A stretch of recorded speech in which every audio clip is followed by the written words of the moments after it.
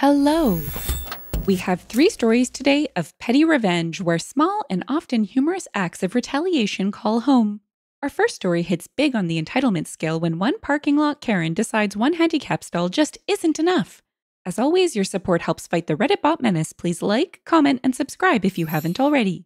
We start with story one Park illegally in a disabled space, learn a very expensive lesson.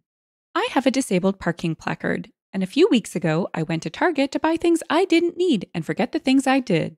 Not only were all the spaces taken, someone parked their gigantic Escalade on the line between two disabled spaces, taking up both. Wholly irritated, because this happens so much, I walked around the car. No placard or disabled plate.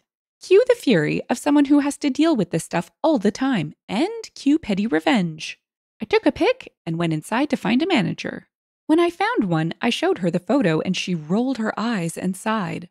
Apparently, this happens a lot at their location because it's near an affluent town with a lot of very wealthy, very entitled people. And most often, it's the owners of huge SUVs and F 150s that park like jerks.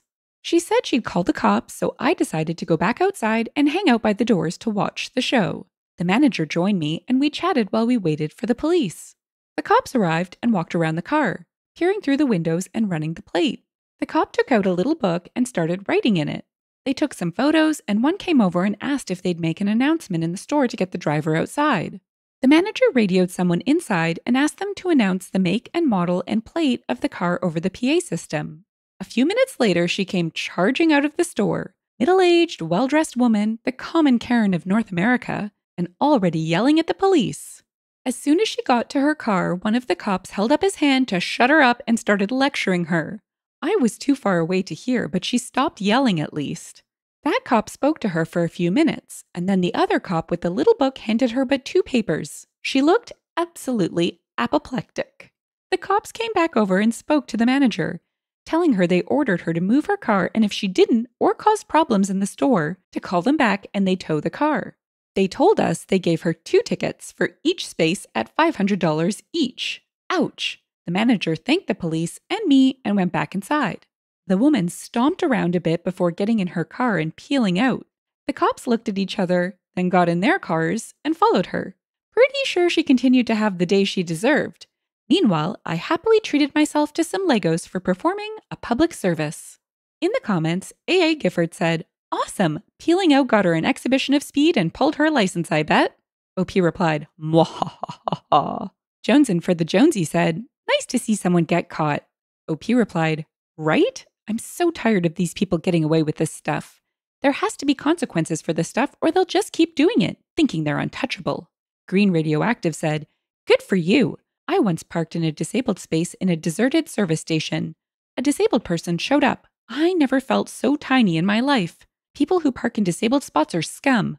OP replied, Sometimes that happens, especially if the spot hasn't been repainted in years or the sign isn't easily visible. The key thing is you felt bad about it. This woman was angry she got caught. Big difference. Teamwork makes the dream work. This Karen was all like, I'll park wherever I want in my fancy SUV. And this team of public servants was like, okay, but it'll cost ya. Our second story tells of a young couple who couldn't figure out what was wrong with a home they bought at a steal of a price. That was until they met the neighbors.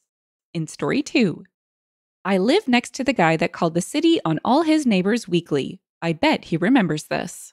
My wife, 22 year old female at the time, and I, 26 year old male at the time, shopped for a home in 2016 before things got too crazy, and we found a small place in a working class neighborhood. We were working on getting the property approved for the FHA loan, and in the meantime, the seller allowed us to stay there so we could start fixing up the place. It was quite the fixer upper, but we were young and the prospect of sweat equity was exciting. We were surprised that the house was so inexpensive until we got to know our next door neighbor. Devin was somewhat famous in the neighborhood for finding reasons to call the city over infractions. For example, he would go out at night and measure the distance tires were from the curb. He filled noise complaints all the time and would intimidate folks on the street with threatening letters. Most memorably, Devin would actually regularly heckle the previous black tenants of the property we were buying from from the safety of his elevated backyard. It was on a bit of a hill. What made the property that we were buying difficult to qualify for the FHA loan was that the detached garage in the backyard had a sloping roof The structure was at least 70 years old and was in disrepair. The seller paid to have it torn down. However, this only revealed that one of the walls of the structure was the retaining wall for a huge section of Devon's backyard. The 8 foot retaining wall was in bad shape. It leaned in towards my side by nearly 18 inches at the top from the bottom. It looked like it wouldn't take much to fall over and presented itself as a hazard. With permission from the seller, I tore down the retaining wall with the intent of replacing it myself at my own cost. This opened us up to a barrage of creepy, threatening, cryptic letters from Devon. He was going to sue. We had to have an engineer approve of everything, etc., etc. He called the city almost every day. He insisted that we pay for everything despite the fact that it was the roots on his side that were pushing into my property. The code enforcement worker privately agreed with my assessment but seemed cowed by Devon's daily calls.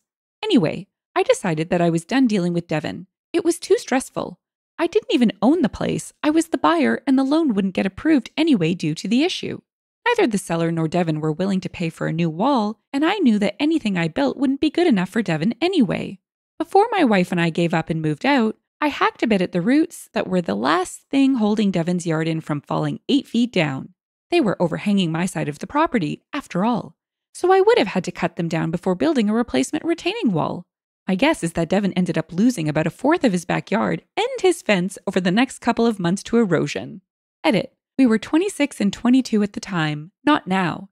In the comments, a small story got all the attention. Techno said, An acquaintance of mine, Tom, had a Devon very briefly. Tom knew full well why the house was going cheap. The cousin he bought it from told him upfront about the prison guard neighbor that had frightened away three sets of tenants by threatening them over everything from trash cans to having pets. So, the very first weekend after closing, Tom throws a backyard barbecue for his friends. It's loud and crowded, and everyone's having a fantastic time. Devon comes home from work mid party and immediately tries to start trouble. He screams out his window and throws stuff over the fence. When the stuff is thrown back and the music turned up, Devon tries a call to the police, telling them, and I quote, There's a bunch of druggies fighting next door. Cops showed, cops ate some hot dogs, cops left. After the next two calls to police went nowhere and the party was still being terrific, we'd set up lawn darts and bocce.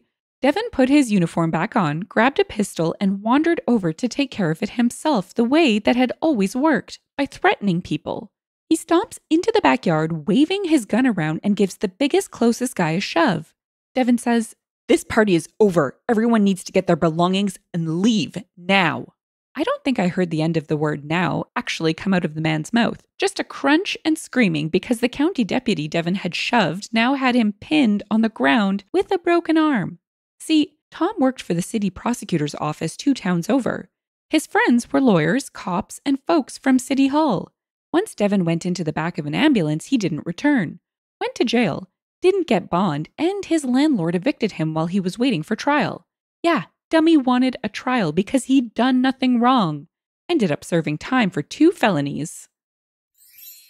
It's not often people would be thankful a loan didn't go through, but this would definitely be one of them. I mean, that decrepit structure in the backyard saved OP and his wife from what would have been a nightmarish situation. But the story in the comments definitely takes the cake for the justice tingles. Our third story starts with a friendship that took a nosedive and one old friend who clearly needed a reality check. Story 3 if you try to mess with me, my partner will mess with you. About a year ago, I had a rather acrimonious falling out with a friend. We were not super close friends, but had known each other a long time. In my mind, this friend had a history of mild to light substance abuse, and this landed him in hot water multiple times in the past. For example, job loss, nasty breakups. But as a person on a purely interpersonal level, he was mostly fun to hang out with from time to time. A lively and fun guy. Because his occasional problems decided to reappear, we had a big falling out, which started with his rather poor treatment of his ex girlfriend. She is also a friend of mine. His stories about what happened and why were all extremely convoluted, equals a lie. In the end, his story was rather untruthful, demonstrably so, and his behavior in the two months before was also rather concerning. So, with all that, I set out to talk to him about life, where he was combative, and it ended in a swearing match and the end of any remaining friendship.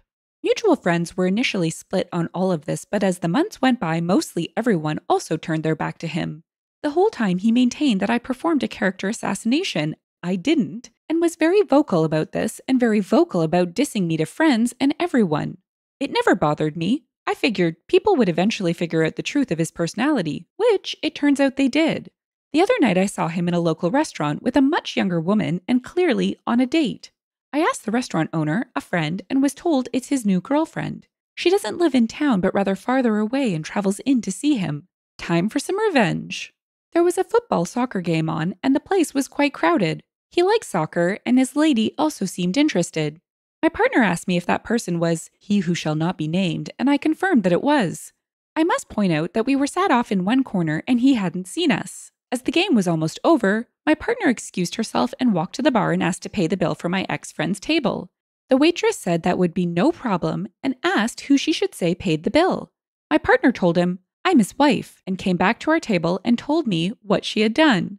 When the game was over, he asked the waitress for the bill, who promptly told him his wife had paid it. His new lady friend was instantly visibly upset. A short, heated conversation took place. She slapped him and left the restaurant in a hurry. Glorious! Edit. He is still using drugs.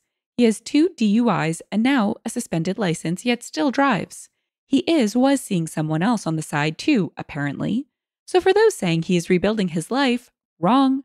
He is still talking smack about all his old friends, although now nobody listens. In the comments, Funny Sheep said, there is a name for people who are fun and charming, but also have a nasty habit of lying and treating people badly. Clown face emoji. Just Aoli replied, Politicians?